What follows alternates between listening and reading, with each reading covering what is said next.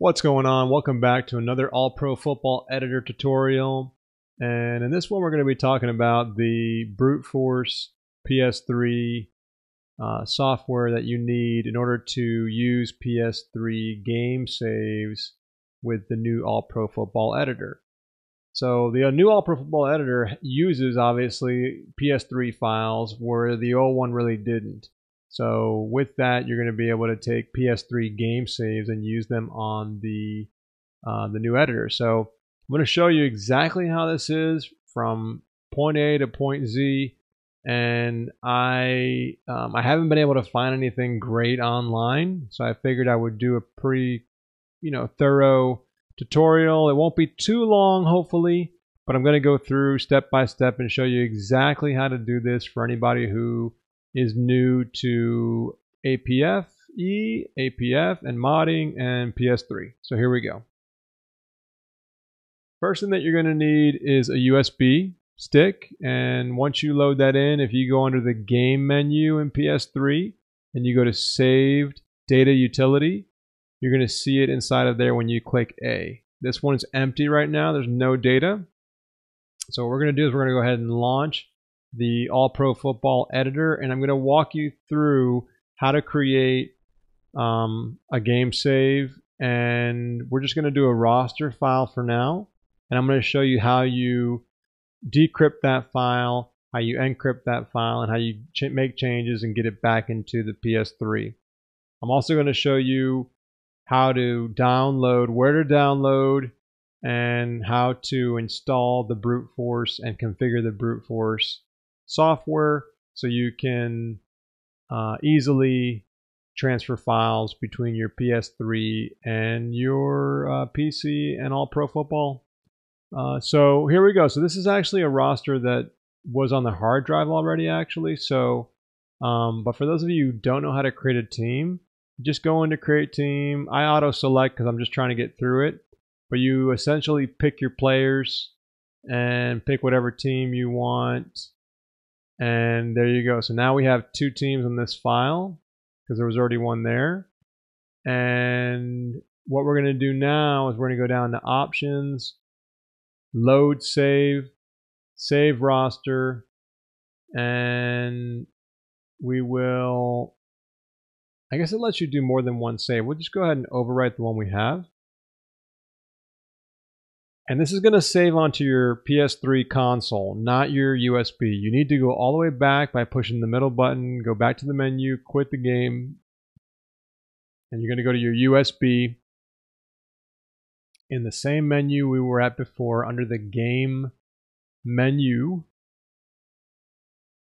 And don't sweat the Buffalo Bills uh, background, just saying. And uh, we're going to go to the Save Data Utility Actually, we're going to go to All Pro. No, sorry. Save data utility. Then we're going to go down in the file. These are all the hard drive files. This is your USB. This is cloud. We don't touch cloud. Um, this is the roster. Hit triangle. Hit copy. Go to USB device. And there you go. Copy's over. So from here, we're going to take it back to the PS um, or the PC. And now it's on the USB pull it out of the USB and bring it over to the PC.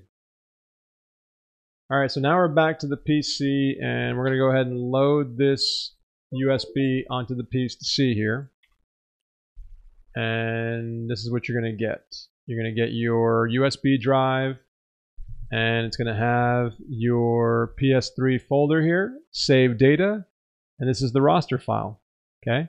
The folder actually has the ROS extension that you would normally see on the Xbox 360 and the FXG. So you know that you have a roster or you have a season file based on the folder name. Okay? Actually, not even on the PC. Here we go. Now we're on the PC. So you're going to go into USB, PS3, uh, save data, and here's the folder I was just talking about called ROS. If it was a season file, like I mentioned, it would be FXG. Okay? So what you're going to want to do before you even mess with this, what you're going to want to do is load up the brute force software. Okay. All right. So these two files here, folders, are going to be in the description of this video, so you can access it from there. And this is the brute force save data software, and this is the PS3 tools software. We're going to be installing both of those right now from scratch, so you can see how this works. The first thing you're going to want to do is install this msvbvm50.exe file. Okay. Um, I'm not going to install it because I already have it on my machine. And so I'll click no there, but you're going to click yes and you're going to install that. Once that's installed, then you're going to go to the brute force installer and run the installer and uh, and install it. So I'm going to go ahead and pick a different directory. You can pick whichever one you want. I'll just put it on my desktop. And then um, and we'll save it to the desktop. I don't think I have another one saved there with that name. Okay, there we go. So it's installing. Okay, so now we have the brute force. We're not going to run it yet. Hit finish. Now we're going to install the um, the PS3 tools exe. So I'm going to put it in the same exact spot just so we have it right next to each other here. And let's change this to PS3 tools. And it should save it. It might have already, it might have saved it inside of here. Yeah, it did. So it's right here. Okay. So we're going to go ahead and move that to the desktop. And there we go. So what just happened here? Hold on. Tools.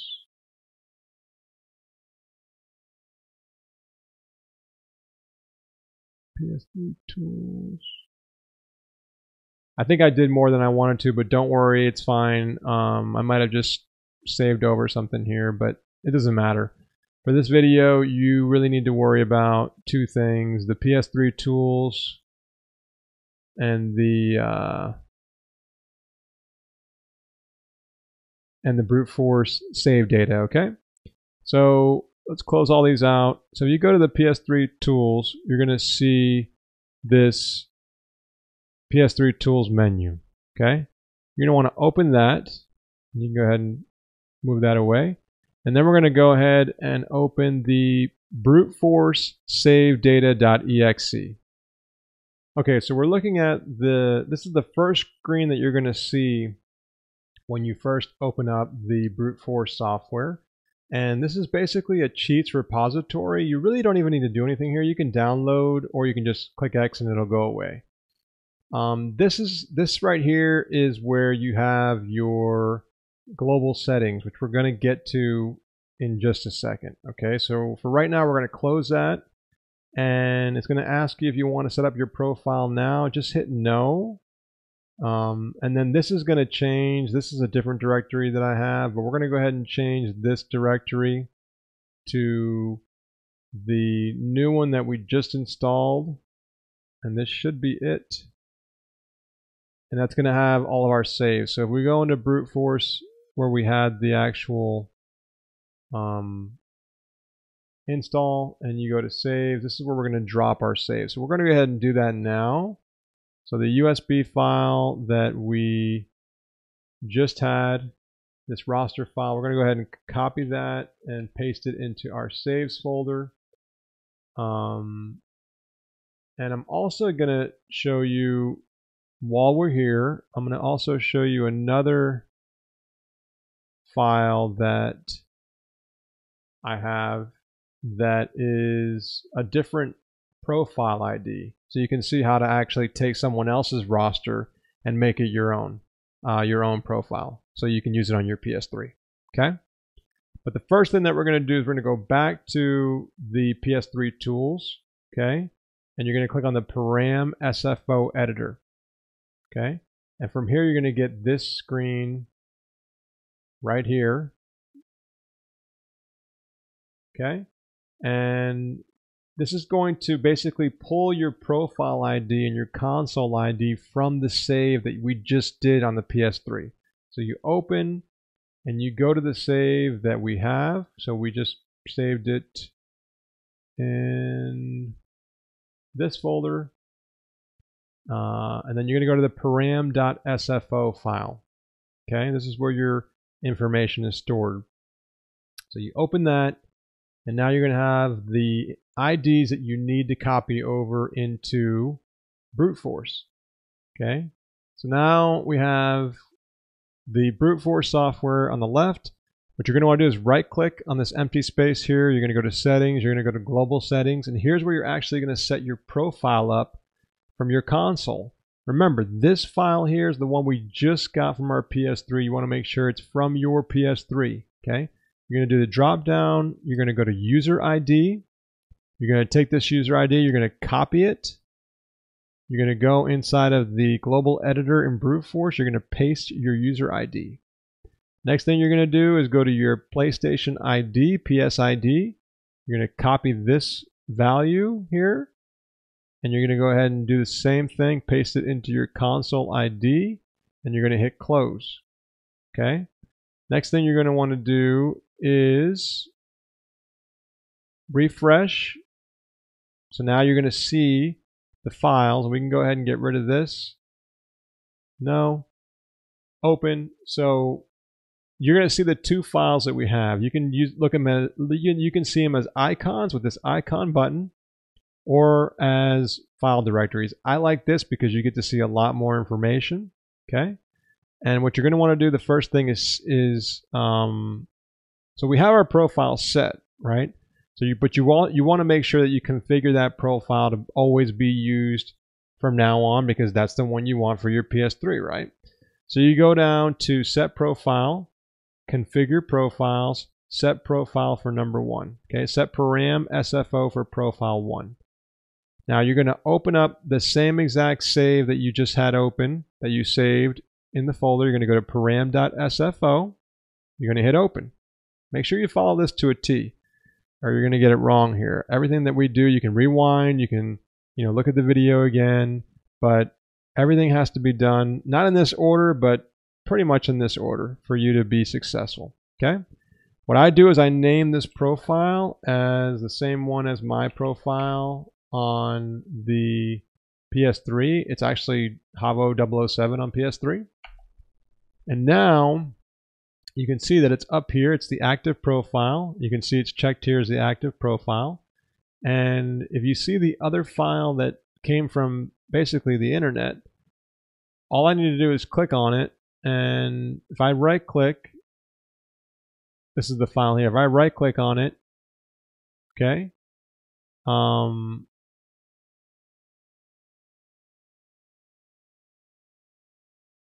There's a way to set your ID to it, but what we need to do first, before we do that, is we need to get the key for this game. Okay? So every game has its own unique key, and that key is what's used to rehash and resign the file. So in this case, we don't know what it is, but we're going to go ahead and right click and go brute force, which will find the key for us, hopefully. And it will, because I know it will, because I've done it. But some games it won't find it. Um, so you're going to go to brute force. You're going to right click F6, or you can just do brute force. And now it's going to find the key. Okay. So now every other file, if you refresh, it knows now how to identify an all pro football game save, whether it be a roster or a season file or anything. Now it has the key, and now I can rehash and decrypt and encrypt it. Okay. And um, this file here was the one that we got online. If I rebuild it with the current profile, it's going to go ahead and now be used, um, stamp my profile so I can use it, right? So if you get a roster from somebody online and you want it to work on your PS3, you need to load it into brute force and you basically need to right click on it and rebuild with your current profile, which is the one typically the one you set here from your PS3 like we just did, okay? But we're going to go ahead and focus on the one that we just created, okay? We created the goats, I believe. And um, We had two teams on there, and we're going to go ahead and open that in All Pro Football. Okay, but first we have to click on it, decrypt all files. Okay, it's going to decrypt the file. You're going to notice it's decrypted because it has the word decrypted here, and this is also in green. Okay, so we're going to go ahead and minimize this because right now we're decrypted. So if we go to our folder, we go to our saves, and the roster file, you're going to see this new file here called files decrypted. And what it does is it decrypts, which is basically allows us to finally read it um, in the editor, which is what we want. So now we're going to open the editor and we're going to browse to that folder.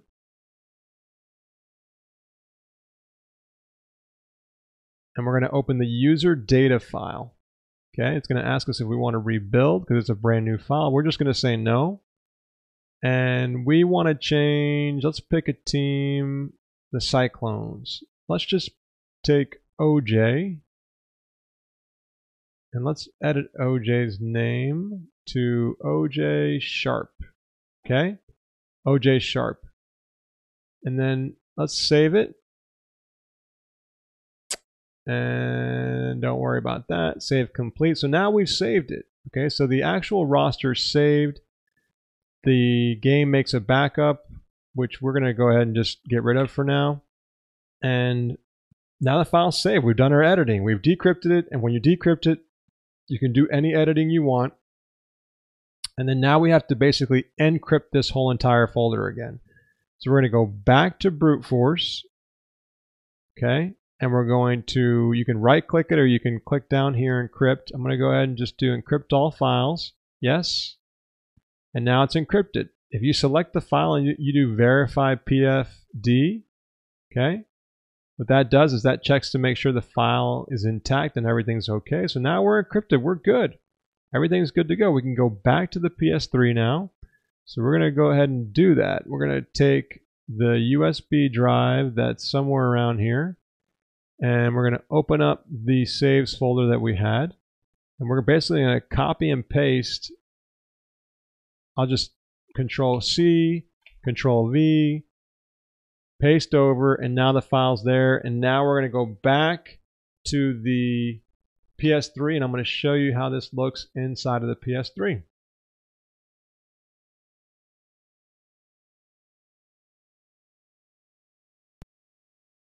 And if you look, we have that roster file, file still. We're going to need to copy this over to our desktop.